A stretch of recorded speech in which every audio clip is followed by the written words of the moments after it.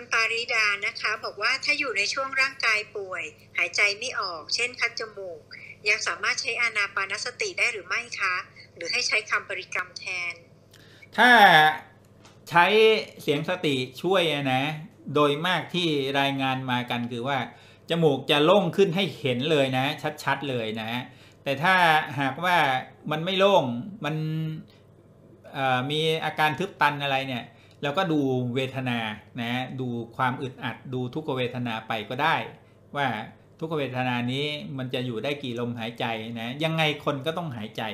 แต่คุณไม่ต้องหายใจยาวก็ได้ ดูทุกเวทนาอันเกิดจากลมหายใจสั้นและอึดอัดก็ได้นะครับ